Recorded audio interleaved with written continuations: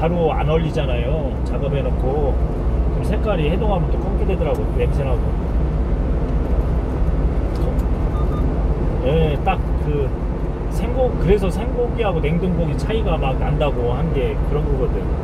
냉동 해동을 잘 해갖고 해도요 오히려 육색이 선홍빛은 아니어도 검붉으면서 하기 나름이거든요. 그 이제 해동만 잘하면.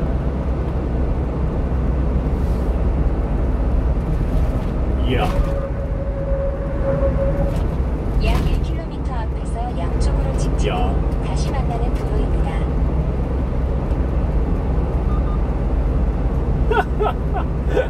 프랜차이즈 본점들은 어느 정도 개수 나가면 아이고 참 마성하시네. 예.